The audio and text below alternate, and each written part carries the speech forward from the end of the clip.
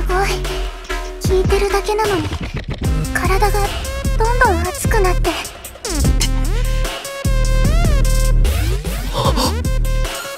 あいつが全く歯が立たないだと。くそでかすぎるだろ。この壁は。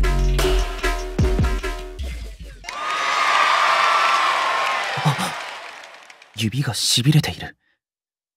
聞いている間。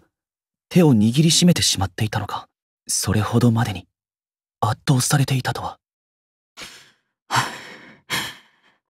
だいぶ腕を上げたなあなた。それ結構傷つきますよ。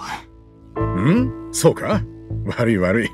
俺の中じゃまだお前らはいやお前は歌い始めたばかりのひよっこだからな。もうあの頃とは違いますからそうか。あなた。ラッドウィーケンドを超える気ならこれだけは忘れるな。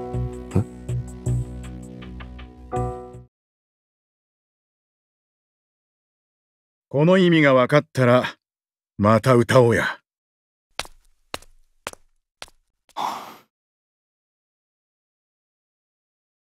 あのおじさんあんなにすごい歌歌える人だったんだ。え？もしかして小羽あの人のこと知ってるの？あうん。前に自分が見えてないっていうアドバイスをくれたのがあのおじさんなの。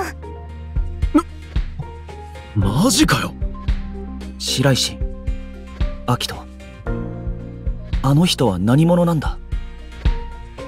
あの人は小滝大河さん父さんの元相棒でラッドウィーケンドをやった。ううん伝説の夜を作った一人だよ。え？え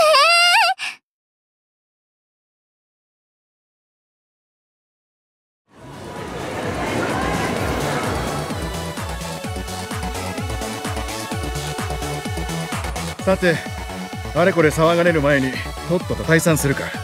大河おじさおじさん？俺のことをそう呼ぶやつっていや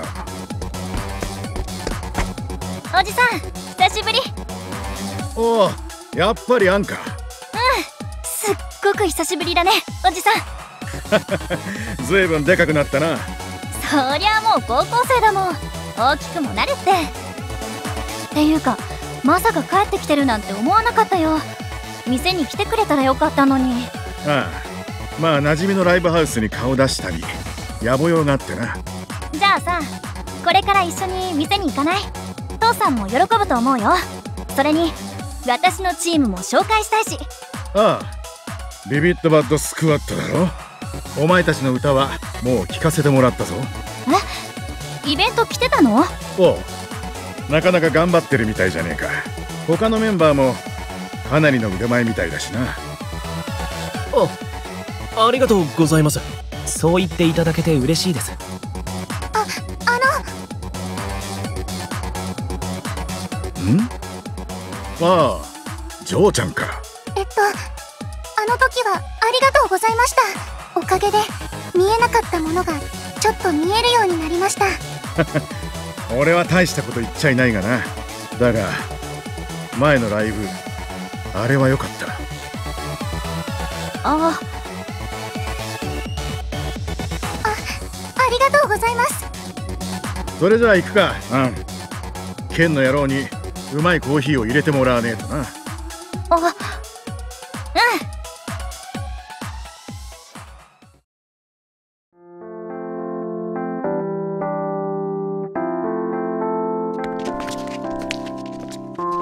うん。なああんん？何？俺はタイガさんのことはステージの上に立ってるところしか知らねえがケンさんとタイガさんは派手な喧嘩して別れたって噂があるだろえ？あー言われてみればそんな噂あったね。ラッドウィーケンドの後すぐにタイガさんがいなくなったのもそのせいだって聞いたことがあるが実際どうなんだ？噂は噂じゃない？たまーに喧嘩する時はあったけど父さんとおじさんは昔からの親友だし。でも確かにおじさん。あの後すぐに海外に行っちゃったんだよね。もしかして、本当に父さんと？そんじゃ久々にあの野郎に挨拶するか。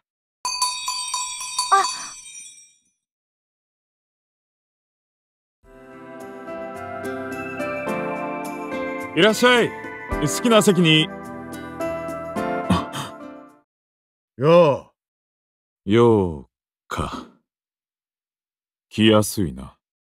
よくこの店に顔を出せたもんだ。父さん？どういうことだ？まさか。噂は本当に？う。